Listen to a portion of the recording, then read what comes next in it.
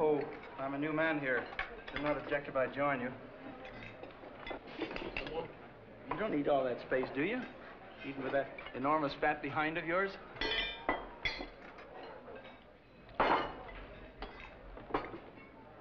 God in heaven, man, you're not going to eat that entire nauseating mess. Small wonder you're such a monstrous tub of lard.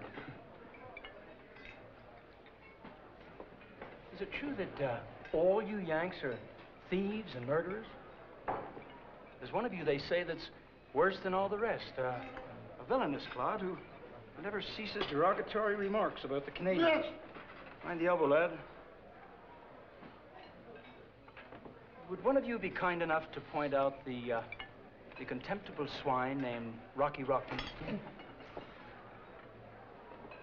You've just two seconds to make a public apology. What? Time's up. You can't do it, mate. We're under orders. If you disgrace your uniform, we'll be Oh, court martial. Lad, lad, it's his uniform I propose to disgrace. Now, sit down, sit down. The human body has numerous vulnerable points.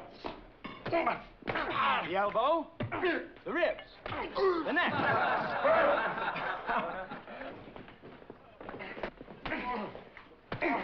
Including the solar plexus and many other points.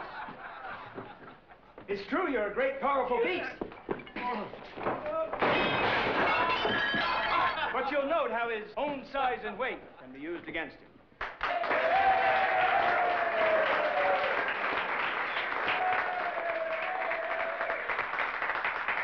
Name? Sergeant Patrick O'Neill. Title? Hand-to-hand combat instructor. Further instruction will commence tomorrow, 0700, on the parade ground.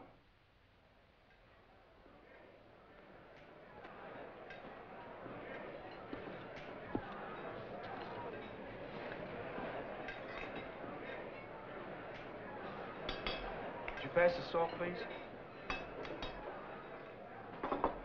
Thank you. You're right, he's capable. I hope, Major, that you won't punish him for disobeying orders. Well, it was my impression he was following orders, sir. Your orders. More coffee? Well, I, I, I don't mind if I do.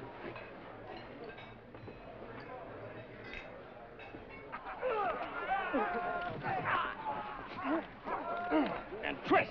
Huh?